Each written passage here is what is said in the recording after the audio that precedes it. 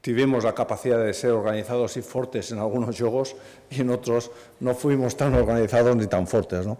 Eh, creo que nos ha faltado regularidad, porque si hubiéramos sido eh, igual de fuertes y, organizados en todos los juegos, pues seguramente estaríamos en una mejor posición. Entonces creo que por momentos hemos sido ese equipo que, que él describe. ¿no? Y en cuanto a Gil Vicente, Gil Vicente es un equipo eh, que ha sido capaz de hacer algo que nosotros ainda no hemos, no hemos feito, que ha ganado los dos últimos juegos, no, no, los dos últimos, dos juegos de los últimos cinco contra Famalicao y Boavista, fuera, con lo cual mm, ya sabemos que va a ser un, un rival difícil.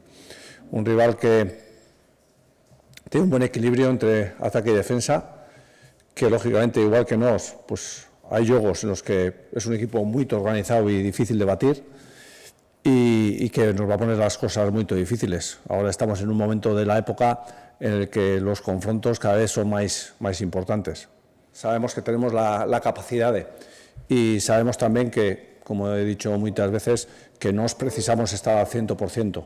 Si estamos al 100% competimos siempre y si no estamos, pues tenemos dificultades.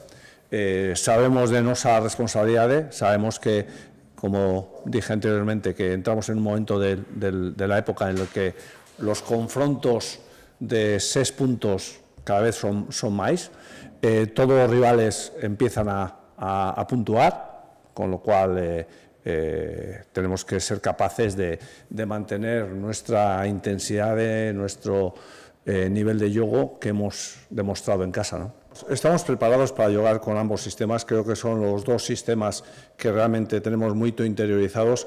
De hecho, eh, cuando yo pregunté a los jugadores cuántas veces habíamos jugado con un sistema y con otro, pues eh, erraban porque hemos llegado creo que 13 juegos con tres centrales y sin embargo solo 8 con, con cuatro, con lo cual eh, podríamos decir que hemos llegado o sea, que es más nuestro sistema, pero somos capaces de dominar ambos y tenemos que ser capaces de adaptarlo en función de cómo estamos nos, eh, qué jugadores están a mayor, a mayor nivel, que eso es lo que condiciona sobre todo la selección del sistema, y luego cuál es el a equipa que confrontamos, ¿no? Con lo que a partir de ahí, pues podemos jugar con tres, podemos jugar con dos, y lo de correr bien o correr mal, al final hemos ganado los mismos juegos con tres centrales que con, con, cuatro, con dos, perdón. Sobre todo son mucho más importantes porque cada vez eh, quedan menos puntos en, en juego, ¿no? Y al final el, el, confronto directo es muy importante para al final eh, conocer en qué posición de la tabla eh, ficamos. Con lo cual, estos juegos son, pues como digo, ante, he dicho anteriormente, de seis puntos, ¿no? Al final tienes que competir en el día.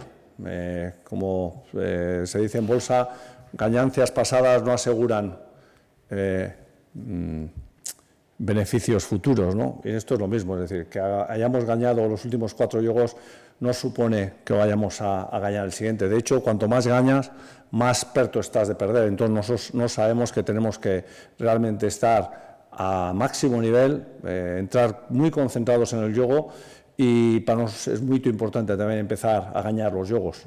Todos los equipos que estamos implicados y que sabemos que vamos a, a tener dificultades hasta, hasta el final, sabemos que cada tres puntos son, son cruciales y no estamos a pensar en qué pasó en el anterior juego, porque al final todo es muy diferente, ¿no? En estos momentos ainda más porque incluso o entrenador es, es diferente y, y Gil Vicente juega de forma diferente, con lo que nos vamos a encontrar un equipo que va a venir aquí seguro a por los tres puntos, porque todos precisamos de él. ¿no?